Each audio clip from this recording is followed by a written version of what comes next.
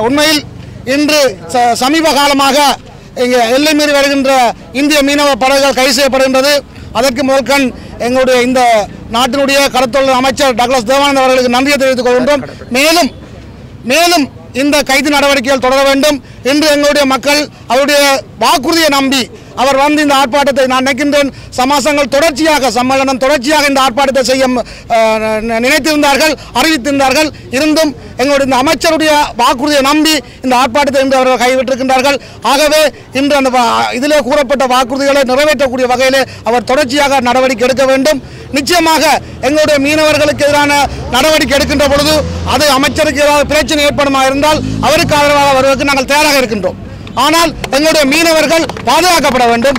இந்த இந்த வாக்குறுதிகள் பொய்யானவையாக இருக்கக்கூடாது.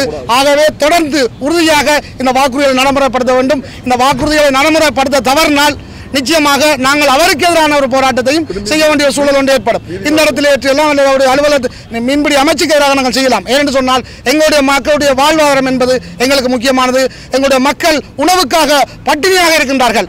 அந்த பட்டினியை போக்க வேண்டிய பொறுப்பு ஒவ்வொருவருக்கும் இருக்கின்றது. அந்த வகையிலே இன்று அவர்கள் பொதுவாக விட்ட அந்த அற அந்த அறிவித்தலை ஏற்று நான் இந்த போராட்டத்தில் பங்கு பெற்றிருக்கின்றேன். இந்த போராட்டங்கள் தொடர வேண்டும். எங்களுக்கான தீர்வு கிடைக்க வேண்டும். நன்றி.